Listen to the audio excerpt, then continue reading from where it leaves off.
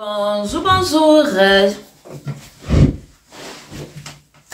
Bonjour, bonjour. J'espère que vous allez bien. Moi, je vais super bien. Merci de vous abonner, merci de m'encourager et bienvenue dans les histoires d'Akoma. À travers nos histoires, nous donnons des leçons et nous tirons chacun une morale.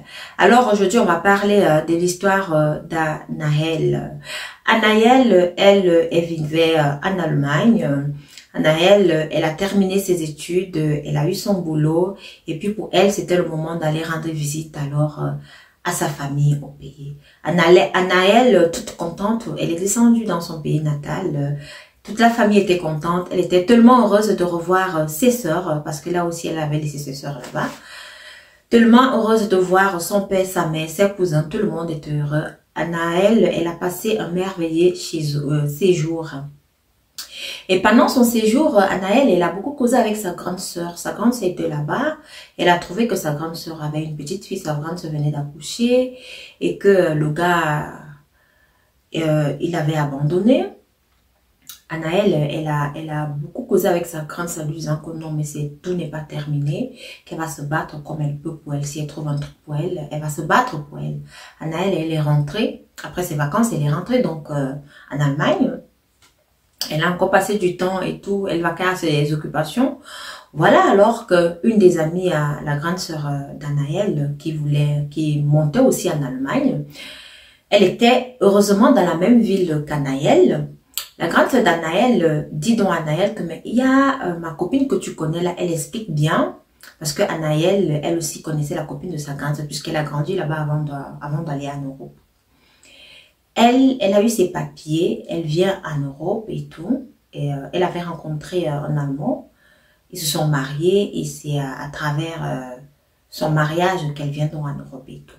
Donc j'aimerais bien t'envoyer. Qu'est-ce que tu veux? Tu veux que je t'envoie quelque chose et tout? Anaël qui dit à sa grande soeur que oui, envoie-moi un cabas. Donc comme l'été arrive, là j'aime les petits, les petits vêtements avec les tissus africains tu connais ma taille, tu me cherches une belle petite robe, écoute, petite robe là, tu m'envoies. C'est ainsi que la grande sœur d'Anaël, alors, elle est partie. Elle a acheté euh, deux petites robes, elles étaient bien belles, avec du bon wax. Elle a donc envoyé euh, à sa sœur, par l'une de ses amies. Sa sœur est arrivée, Anaël, elle est partie, elle a pris son habit, euh, en fait, ses deux vêtements. Elle arrive avec à la maison. C'est comme ça qu'elle appelle donc sa soeur. Elle dit à sa soeur que bon voilà, j'ai récupéré les vêtements euh, euh, chez ton ami. Euh, ils sont ils sont vraiment très beaux. Les deux vêtements là africains là sont hyper beaux. Je pense qu'à l'été là, les gens vont beaucoup m'envier parce que les modèles sont vraiment très très beaux. La grande c'est d'Anaël qui, dit donc à Anaël que non, mais il faut essayer pour que je voie à, quoi est-ce que ça ressemble. Essaye, essaye la robe. Anaël qui lui dit que non, tu sais que maintenant je dois partir, j'ai un truc à faire rapidement, là je n'ai plus le temps, je suis déjà en retard, je dois partir. La grande c'est qui dit que mais tu sais que quand tu vas partir, là, on va encore mettre du temps avant que avant de s'appeler parce que je sais que tu es occupé, je sais que tu travailles et que parfois tu n'as pas le temps. Ça va encore prendre longtemps avant que tu ne m'appelles et tout. Donc j'aimerais bien que tu tu essayes rapidement la robe, euh, les robes là et puis tu me montres. C'est ainsi que Anaël dit donc à sa grande soeur, ok, ok, tu as raison, je vais essayer. Anaël a donc essayé les deux, avait dit, oh, ça te va vraiment bien et tout et tout. Anaël, elle a encore dit merci à sa soeur. Elle est partie. Et, en fait, elles ont fini de causer. Anaël lui a dit que franchement, je dois partir. C'est comme ça qu'elles se sont dit au revoir. Anaël, Anaël est partie là où elle devait partir, quoi. Anaël, pendant tout ce temps-ci, elle avait déjà son fiancé qui euh, disait que, en fait, ils avaient déjà la, date entre eux parce qu'ils voulaient descendre au pays pour aller euh, faire la dot d'Anaël. Parce que le gars, vraiment, aussi, il, il, était ingénieur et il travaillait à Volkswagen. Donc, il voulait aussi euh, épouser Anaël. Donc, pendant tout ce temps, comme Anaël avait déménagé avec son gars, donc pendant tout ce temps, elle habitait chez son gars, ils habitaient déjà ensemble puisqu'ils voulaient se marier. Après avoir donc essayé les deux vêtements africains-ci, Anaël rentre à la maison. Les querelles commencent avec son gars. De plus en plus, les querelles avec son gars, les querelles, les querelles, les disputes. Un jour même, le gars d'Anaël, il a, il a giflé Anaël. Anaël s'est retenue, elle a dit non, tu peux pas me gifler. Donc c'était des problèmes sur problèmes. C'est ainsi que la, la, relation d'Anaël alors s'est gâtée. Le gars, il a quitté Anaël, il est parti. Anaël ne comprenait pas. À un moment donné, même, même au travail, elle avait des problèmes. Anaël avait déjà des problèmes partout. Après, Anaël est tombée malade. Elle est tombée malade, elle a commencé à m'écrire, m'écrire, m'écrire. Anaël a perdu son travail. Elle a commencé maintenant à vivre du social parce qu'elle était malade. Elle ne pouvait plus travailler. Heureusement qu'en Allemagne, lorsque tu es malade comme ça, tu es prise en, charge par le social. Et euh, Anaël avait euh, cette chance-là. Elle était malade, malade. Elle va à l'hôpital. On dit que non, on ne voit rien. Elle dit que mais pourquoi je m'écris? Regardez-moi comment j'étais. Regardez comment je suis. Anaël a noissi. Elle maigrit, elle se pleure, elle dit tout le corps. Le corps fait mal, le corps c'est ici. Les boutons sortent pas si. On lui donne seulement les, médicaments pour que, pour pouvoir enlever les douleurs, pour pouvoir enlever les boutons, mais les boutons sont toujours là. Elle ne comprend rien. C'est ainsi qu'un beau jour alors, Anaël rencontre, elle a commencé, avant ça, elle a commencé à aller dans les églises parce que elle se disait que non, si déjà à l'hôpital chez le blanc, on dit qu'on ne voit rien, ça veut dire que en fait, on dit qu'on ne voit rien qui puisse causer euh, vraiment sa maladie, qu'elle a là, qu'elle maigrit, elle maigrit. Anaël avait perdu plus de 20 kilos. Imaginez-vous. Imaginez un peu. Donc, je reviens à ce que je disais tout à l'heure. Elle a donc rencontré une amie. Et son, son amie l'a lui donc, bon voilà, euh, moi je, connais un pasteur hein, ici, à ici là, dans l'autre ville. Euh, dans un autre état en Allemagne, le pasteur là, je pense qu'il est bien. Peut-être que tu pourras aller le voir. Parce que comme tu dis que tu pars à l'hôpital, on ne voit rien. Tu ne fais que maigrir. Moi, j'ai vu tes photos je te vois maintenant. Tu, es affreuse. Ça fait peur. C'est ainsi qu'Anaël lui a donc dit, ok, amène-moi chez le monsieur là. Elles sont parties chez le monsieur. Le monsieur a commencé à faire les prières. Le monsieur a fait les prières, prières, prières, prières, prières. Le monsieur regarde Anaël comme ça, il secoue la tête. Le monsieur dit à Anaël comme, tu as la chance tu as la chance. Ce que tu as là, ce n'est pas une maladie normale. C'est quelqu'un qui t'a fait ça. Il y a quelqu'un dans ton pays natal qui t'a envoyé des vêtements. Et tu as porté ces vêtements-là. Et ce sont ces vêtements-là qui te rendent malade. Anaïel reste comme ça. Elle réfléchit et dit non. Je n'ai reçu de vêtements de personne. À part ma grande soeur, ma propre grande soeur, même. Ce ne sont que les vêtements-là que j'ai reçus. Ah ben rien, rien d'autre. Le pasteur lui dit alors que oui, c'est ça. Ce sont les vêtements que tu as reçus là, les deux vêtements que tu avais reçus là. Les vêtements là ont été travaillés.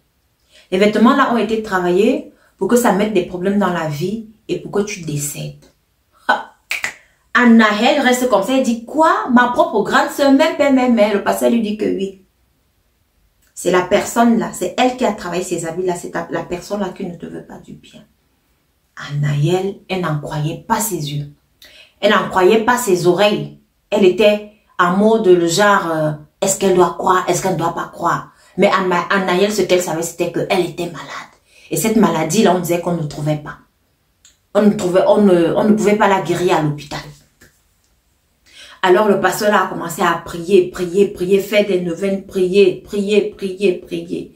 Il a fait des neuvaines avec Anaël fait des neuvaines, il a prié avec Anaël tout le temps, il prenait le train, elle allait dans cette ville-là, faire ses prières, prenait le train. Le monsieur, le pasteur lui a dit que, tu sais quoi, rentre d'abord chez toi, va chercher les deux vêtements qu'elle t'a donnés là, tu apportes ça ici. C'est ainsi qu'Anaël est partie, elle a pris les deux cabas, les deux vêtements là, elle a amené chez le monsieur. Le monsieur a brûlé, il a prié sur ça, il a brûlé, il a prié, il a brûlé. Pendant que le monsieur priait, Anaël avait déjà fait trois mois, quatre mois chez le monsieur. Elle ne faisait que prier, prier, prier. Anaël a commencé à prendre du poids curieusement. Anaël a commencé à guérir. Anaël a commencé à prendre du poids. Et pendant tout ce temps, Anaël avait coupé les ponts avec sa famille. Parce qu'Anaël disait qu'elle était malade. Et pendant ce temps, il, il passait le temps à demander l'argent. Anaël dit que j'ai perdu mon travail. Je suis malade, je n'arrive même pas à aller au, travail. C'est, je vis du social. Ce sont eux qui payent mes, factures et tout. Donc je n'ai rien, je suis malade. Lorsqu'Anaël a commencé à recouvrir la santé, c'est là où elle a repris son téléphone, elle a appelé sa famille. Elle a parlé avec son, père et sa maman, elle a expliqué ce qu'elle avait et ce qui s'est réellement passé. Mais pendant ce temps, sa maman lui a dit que mais ta soeur ici, elle est malade, on ne sait pas ce qu'elle a. Anaël lui dit, bon voilà, voilà donc ce que je viens de vous dire. Voilà ce que je viens de vous raconter. Moi-même, j'étais malade ici. On m'a dit que c'était ma propre soeur qui voulait me tuer. Je n'en croyais pas mes yeux, je n'en croyais pas mes oreilles, mais le pasteur m'a dit que j'avais reçu les vêtements de quelqu'un. Et la seule personne qui m'avait envoyé les vêtements, c'était ma soeur. Et ces vêtements-là ont été travaillés pour que ma vie euh, bascule. Et c'est ce qui m'est arrivé pendant toutes ces années-ci. Les parents d'Anaël n'en croyaient pas leurs oreilles. Anaël aussi, elle s'est mise à pleurer. Elle a avoué à ses parents que c'était elle. À la question de savoir que, mais Anaël, mais pourquoi tu as fait ça? À ta petite soeur Tu es la grande soeur, tu as fait ça à ta petite soeur. Et ta petite soeur, elle avait promis de t'aider. Anaël dit que non, elle était jalouse. Parce que quand sa petite soeur allait là-bas tout le temps, tout le monde, c'était seulement elle. C'était euh, la grande soeur d'Anaël. Elle dit que non, elle a fait ça parce qu'elle était jalouse. Et la raison, c'est quoi? Parce que lorsqu'Anaël allait en vacances dans son pays natal, tout le monde appelait seulement Anaël, Anaël, Anaël, et cela frustrait sa, frustrait sa grande sœur. Incroyable. On dit, même à ton propre orteil, il faut même pas faire confiance. Le dehors, il est risqué. Les familles sont compliquées. Les frères et sœurs sont aussi compliqués. Elle dit, c'est la raison pour laquelle elle a fait ça. Vous pouvez imaginer jusqu'à jusqu'où la, la jalousie peut nous amener. C'est incroyable. Hein. C'est incroyable. C'était dans l'histoire d'Anaël. Pour ceux qui ont l'habitude d'aller dans leur pays natal, faites très très attention parce que je le dis tout le temps ici et tous les jours, le dehors il est risqué. Si quelqu'un te donne quelque chose, tu prends cette chose. Si tu as des doutes, tu prends cette chose, tu jettes. Si tu n'as pas des doutes, mais tu prends quand même, tu fais la prière dessus, ou alors tu donnes d'abord un pasteur de prier dessus, et puis tu prends. C'est pareil avec la nourriture, c'est pareil avec les vêtements, c'est pareil avec le matériel. Donc, c'était donc euh, l'histoire euh, d'Anaël. J'espère qu'à travers euh, cette histoire, vous avez compris quelque chose, vous avez retenu quelque chose et vous avez appris quelque chose. Merci de m'avoir écouté et rendez-vous à la prochaine vidéo. Et surtout, envoyez-moi vos histoires au numéro qui s'affiche ci-dessous.